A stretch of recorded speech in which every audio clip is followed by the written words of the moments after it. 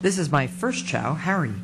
Chow chows have long been my breed of choice. I ended up with six more fabulous chows Zuzu, Max, Paw Paw, Zoo 2, Chin Chin, and Empress Wu. Here I am with Paw Paw and Zuzu shooting a Kmart commercial in California.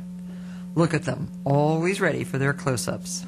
In the fall, Paw Paw watches over my home in Bedford, which is no surprise since chows were once the palace guard dogs of the Chinese emperors. Did I ever tell you that Paw Paw was a champion before the age of two?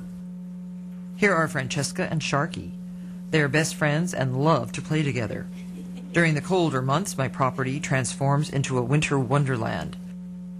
I always put a warm woolly sweater on Francesca as she plays in the snow, but sometimes she runs out before she gets dressed. And here's Paw Paw, never far behind. He never needs a coat. Whether lounging on my terrace, basking in the sun, or just sleeping blissfully, my dogs have provided me with a love that knows no bounds. I could never imagine my life without them.